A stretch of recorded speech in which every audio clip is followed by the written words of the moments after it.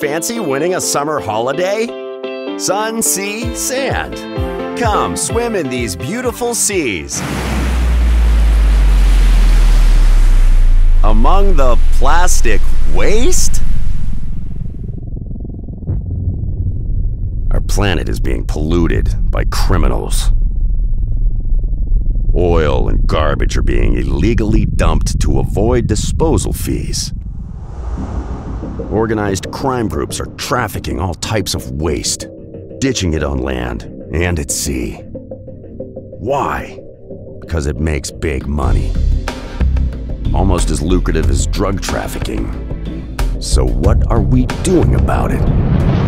At Interpol, we have an environmental security program which works with police forces and agencies in almost 200 member countries to help them prevent, detect, and disrupt pollution crimes, dismantling the criminal groups behind them. We run intelligence led global operations with increased checks at land, sea, rivers, and ports. Member countries issue Interpol notices on waste trafficking and pollution crime related offenses, and we respond to their requests for assistance, in particular with transnational crime cases.